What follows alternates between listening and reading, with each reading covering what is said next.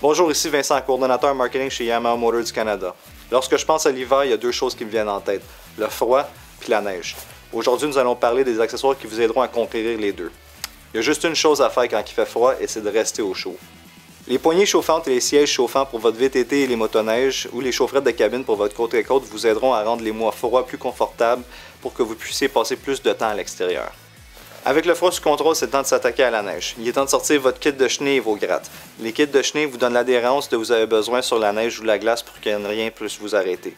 Les grattes vous permettent de bouger la neige, que vous construisez une patinoire, nettoyer votre stationnement, vous empilez la neige chez le voisin ou pour faire un bonhomme de neige. L'hiver n'a aucune chance lorsque vous êtes armé avec ces accessoires.